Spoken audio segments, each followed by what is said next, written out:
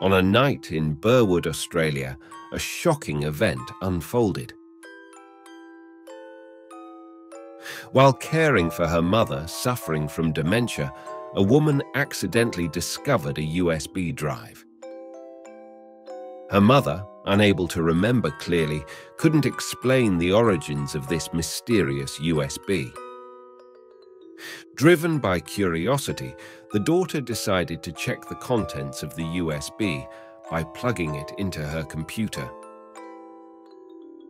What she witnessed in the videos was terrifying, prompting her to immediately call the police. The footage revealed Derek Barrett, a murderer who had been convicted four years prior for the killing of a young girl named Michelle Leng. The videos documented Barrett indulging in his dark desires, reflecting the painful loss of humanity suffered by Michelle. The scenes, recorded on April 22nd and 23rd, 2016, severely violated Michelle's personal integrity, making her a victim of Barrett's twisted cravings, as stated by the police. The case, which seemed to have concluded in 2016, was now reopened for investigation. Upon learning about the contents of the USB, Michelle's mother was so shocked that she nearly fainted. The discovery revealed that Barrett had meticulously installed two cameras in Michelle's room, capturing his abhorrent actions from various angles. Supreme Court Justice Helen Wilson, who presided over Barrett's original trial, expressed her astonishment and outrage upon learning of these additional crimes. She regretted that if she had known the full extent of Barrett's behavior, she would have sentenced him to life imprisonment. Justice Wilson detailed the contents of the nine videos on the USB, describing scenes of Barrett entering Michelle's room against her clear objections and distress. It was terrifying that Barrett had intentionally recorded all his criminal activities, seemingly with the intention of reliving those moments later. Let us together analyze and uncover the truth behind this chilling case, known as the case of the sick uncle.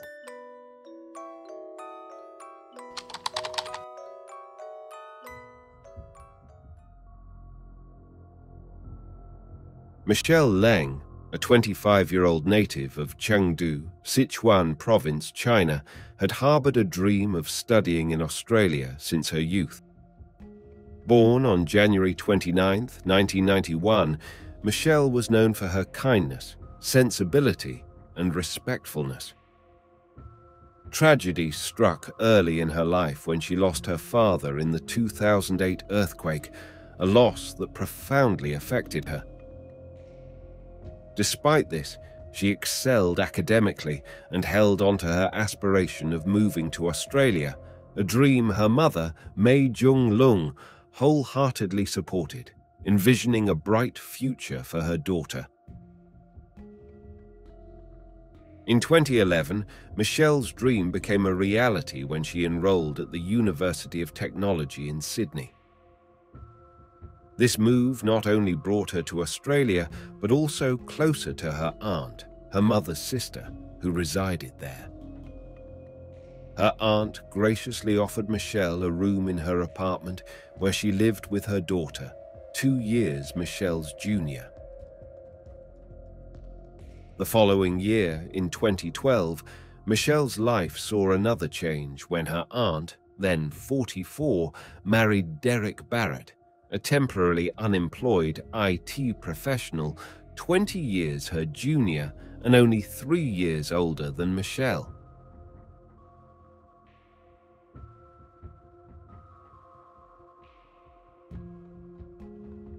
For a few years, life in suburban Campsie, NSW, was harmonious.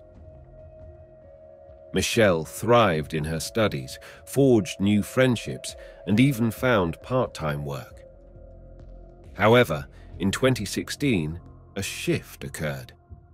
Michelle's aunt frequently travelled to Wollongong for work, leaving Michelle, her cousin, and Derek in their Campsie apartment. In April 2016, while her aunt was away on business, Michelle, then 25, spent a day with friends. Around noon, she took a bus from the University of Technology to a shopping mall in downtown Sydney. Security footage captured her alone and untroubled, later showing her journey from St James railway station back to Campsie station around 4.30 p.m. This was the last confirmed sighting of Michelle. On the evening of her disappearance, Michelle maintained communication with friends and family, with no one detecting any signs of distress in her voice. The mystery deepened on April 24th when Derek, unemployed and with an irregular schedule, picked up his wife from the station. Upon inquiring about Michelle, he claimed not to have seen her for two days attributing her absence to time spent with friends and at nightclubs. Michelle's cousin, often staying at friends' houses, also hadn't seen her for days. Michelle's sudden and complete withdrawal from daily phone contact and social media, where she was previously active, raised alarms. Her room, found in immaculate condition with all belongings in place, gave no clues to her whereabouts. The next day, her aunt and Derek reported Michelle missing to the police and informed the Chinese embassy.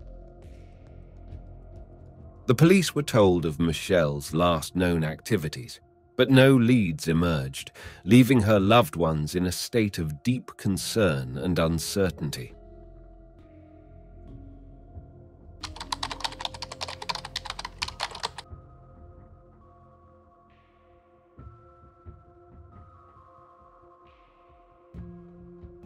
The tragic end to Michelle Leng's story unfolded rapidly, overshadowing the hopeful journey that had brought her to Australia.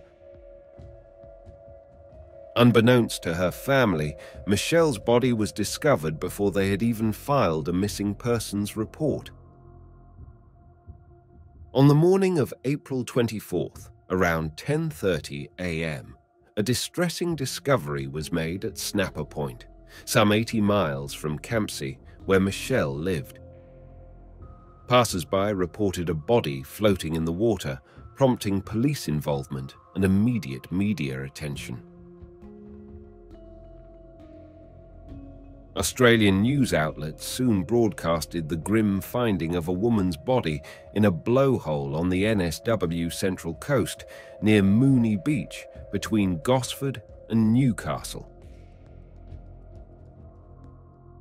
Described as an Asian woman aged between 20 and 35 and approximately 170 centimeters tall, the identity of the woman remained unknown.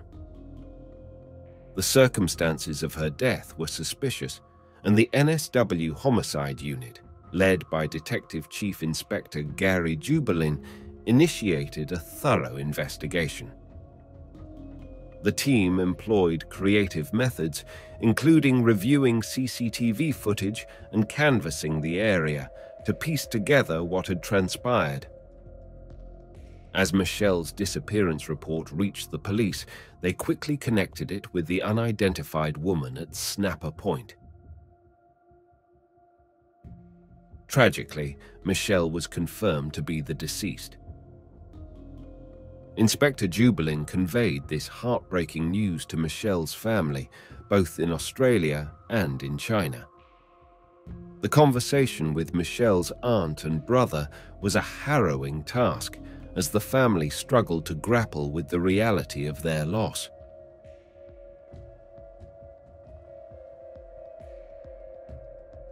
The police, determined to solve this heinous crime, appealed to the public for any information regarding Michelle's activities over that fateful weekend. The autopsy revealed a brutal attack. Michelle had sustained over 30 stab wounds and showed signs of a desperate struggle for life, evident in the defensive wounds on her arms. In the days following the confirmation of Michelle's death, her mother made a poignant journey to Australia. The pain of losing her daughter in such a horrific manner was unbearable. The time when Meng Mei and I lived happily with each other will never come back, she lamented. Her words echoed the profound grief of losing someone deeply loved, a sentiment that resonated with all who knew Michelle.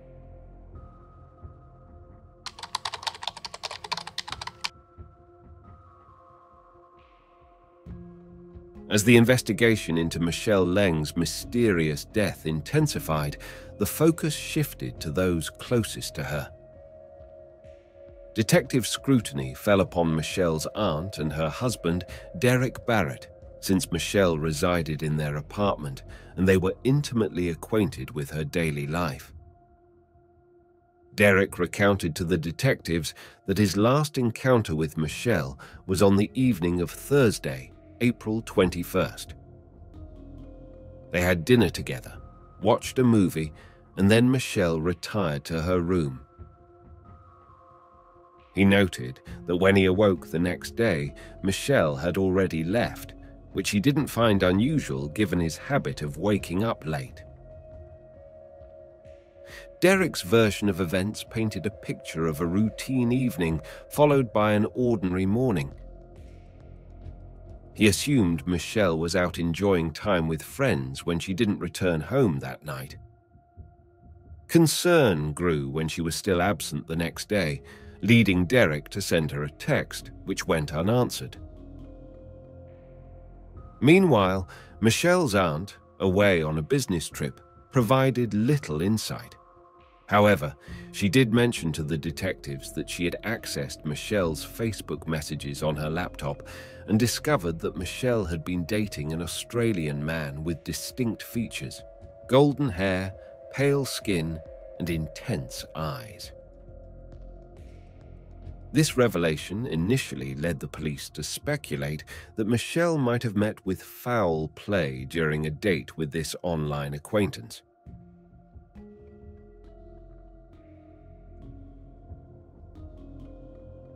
However, this line of inquiry was quickly overshadowed by more compelling evidence pointing to another suspect, Derek Barrett.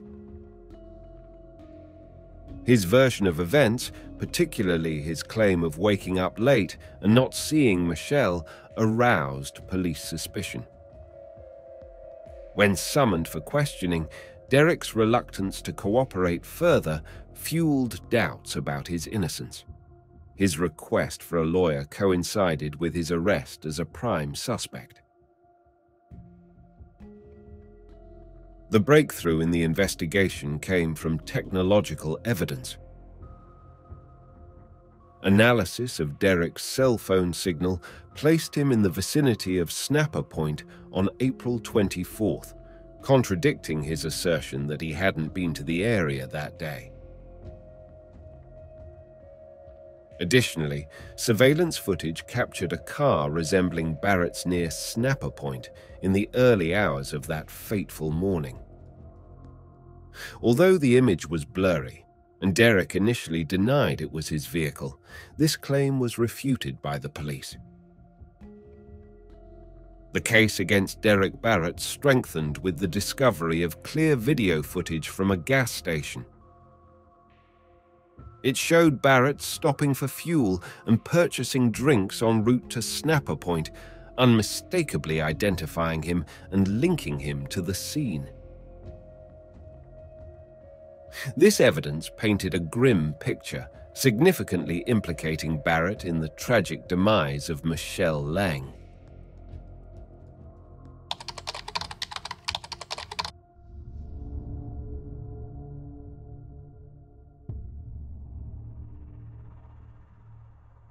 The investigation into Michelle Leng's murder took a disturbing turn when Derek Barrett, initially claiming memory loss due to substance abuse, was confronted with irrefutable evidence of his deceit regarding his whereabouts on April 24th.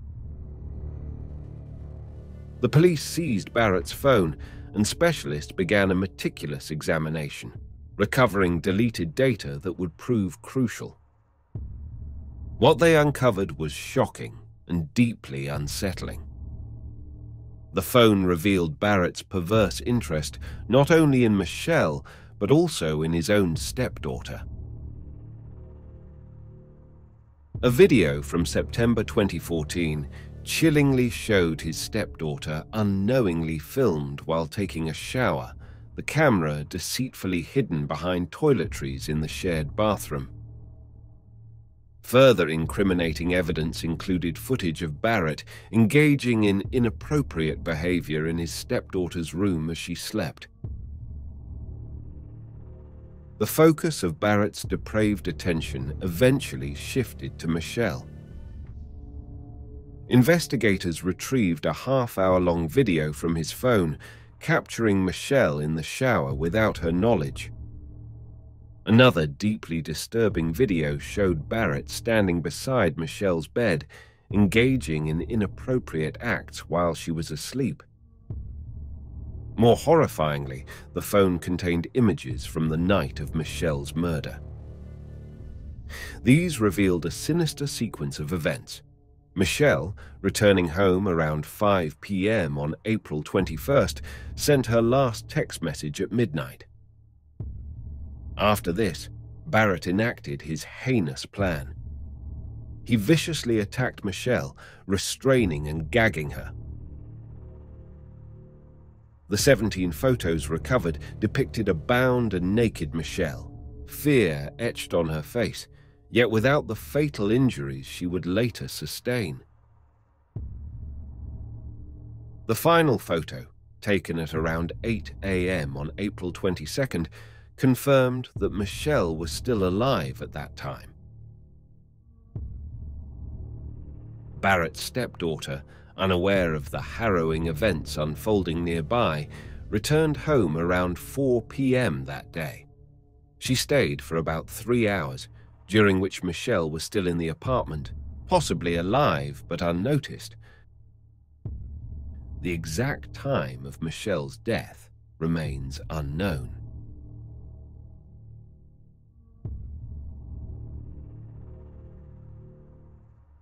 The following day, April 23rd, Barrett's actions became increasingly suspicious. Surveillance cameras captured him leaving the apartment four times with trash bags, likely in an effort to clean up after the crime. Michelle's aunt, returning from a business trip, noted the unusual cleanliness of the house, but thought little of it at the time. In the early hours of April 24th, at 3.19 a.m., Barrett drove to Snapper Point, he stopped at a gas station en route, where he was recorded buying drinks and refueling his car. At Snapper Point, he callously disposed of Michelle's body, capturing this grim act in photographs. The police were alerted to the body at 9 a.m. by eyewitness reports. Meanwhile, Barrett visited his parents, showing no outward signs of his ghastly crime, before returning to Campsie. This chain of events, pieced together from recovered evidence and surveillance footage, painted a harrowing picture of Derek Barrett's monstrous actions, leading to the tragic and untimely death of Michelle Leng.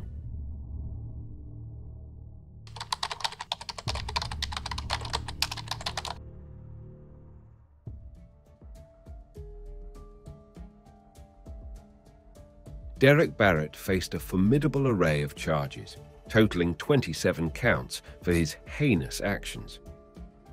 These included unlawful imprisonment, secret videotaping, and the murder of Michelle Leng. Notably, he was not charged with solicitation for lustful purposes. Throughout the trial, Derek resorted to a common defense among criminals, citing a troubled childhood and experiences of being bullied as mitigating factors.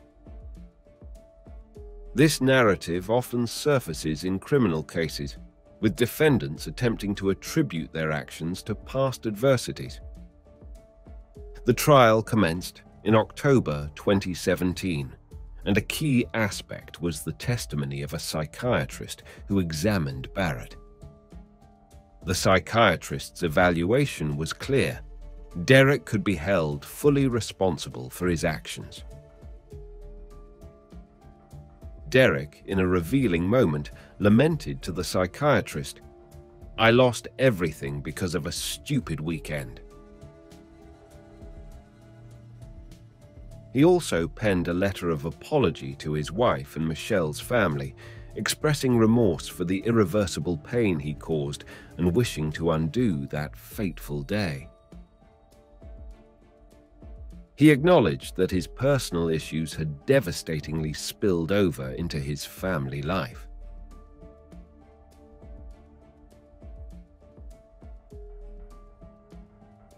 Tam Mei Jiang, Michelle's mother, delivered a heart-wrenching victim impact statement. She implored the judge to impose a life sentence on Barrett, whom she described as a vicious rapist, malicious torturer, and cold-hearted murderer. The tragic loss of her daughter, Meng Mei, had inflicted profound grief on her family, compounded by the subsequent death of her own mother, who succumbed to the sorrow of her granddaughter's demise. Tam Mei Jiang's words painted a picture of a family shattered beyond repair. In December 2017, Barrett pleaded guilty to the charges against him. The court handed down a severe sentence of 46 years in prison with eligibility for parole after 34 years and six months. During the sentencing, Barrett, head bowed, displayed minimal reaction. Initially, his parole eligibility was set for 2050, but later, developments altered this trajectory. Detective Gary Jubelin, speaking to the media, acknowledged the gravity of the sentence, reflecting the seriousness of Barrett's crimes. He expressed a sense of professional satisfaction in achieving justice, yet underscored the inherent sorrow of the case. Despite the lengthy sentence, Michelle's family felt a profound sense of dissatisfaction, having hoped for a life sentence to fully reflect the magnitude of their loss and the brutality of Barrett's actions. However, four years later, a video discovered by a woman living about six miles from the crime scene exposed the entire horrifying truth about the night Derek Barrett committed the crime. At this point, the court was compelled to increase Derek's sentence by an additional 20 years.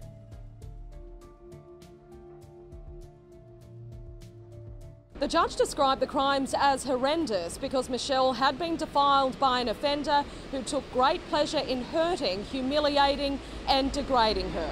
The maximum 46 year sentence remains, but the non parole period has been increased to 37 years, meaning Derek Barrett will be eligible for parole in 2052. Leonie Ryan, 7 News.